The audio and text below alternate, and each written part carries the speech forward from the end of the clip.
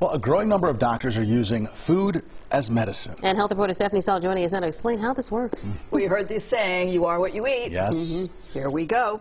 You know, doctors say that prescription medications are still very critical, but certain food can also play an important role in keeping us healthy. I'm making a harvest salad. It may look like the set of a television food show, but Lisa Taylor is a dietitian, and she's preparing healthy dishes at a new teaching kitchen.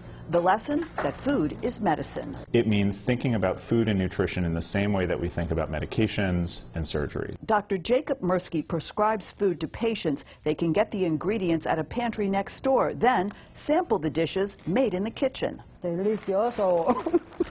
Food is directly related to both the development and progression of chronic diseases, but also can be used to prevent the progression and to treat chronic diseases as well. Some of these are obvious, like diabetes and heart disease, but doctors say foods high in sugar, salt, and unhealthy fats are directly related to cancer, liver disease, stroke, and more. Anxiety and depression are also very closely related to nutrition. These lessons are also available even if you're not a patient through an online cooking class called New Cook. Thousands of people have joined in the classes to cook along with a professional chef and learn the power of nutrition. you can really make a difference in your health outcomes, in the risk of chronic diseases by changing what you're eating, how you're looking at food, what you put on your plate. With a focus on plant-based meals and affordability. We try to prepare for a family of four for less than $20. It's a good combination for a healthy life.